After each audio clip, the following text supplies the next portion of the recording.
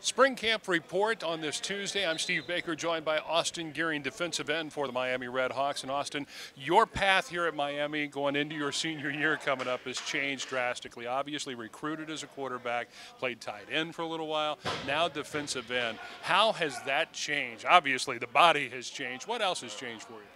Yeah, I mean, obviously the body, you know, being in here in the weight room uh, every day with the guys. Um, other than that, just the mentality because switching from quarterback to then tight end to now defensive end, I mean, obviously it's a completely different game being on the defensive side of the ball now. So just kind of learning to attack every every play rather than just waiting, seeing what's happened when I was at quarterback. So definitely the mentality aspect.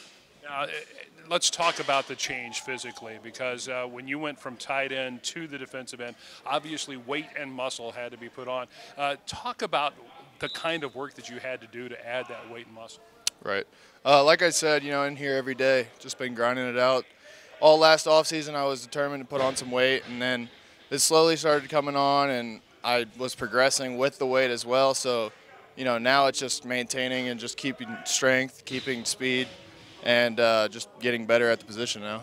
What about the position work itself? Obviously, Bryson Albright, you played behind him last year.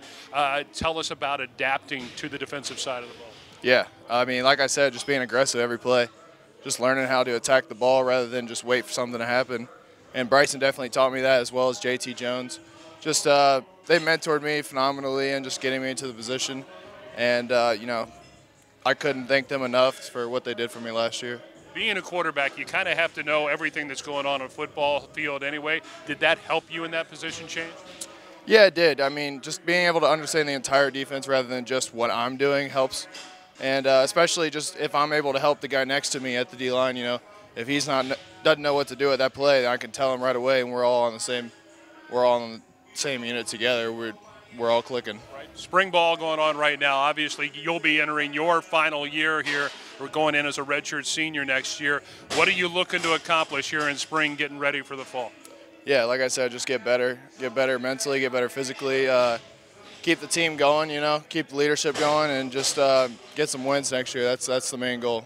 Austin, thanks a lot, man. Appreciate it. Appreciate it. Austin Gearing joining us again. Remember, spring uh, practice, the spring game, if you will, is on April 23rd. It begins at 12:30 at Yager Stadium. Make sure you plan to come out and join us.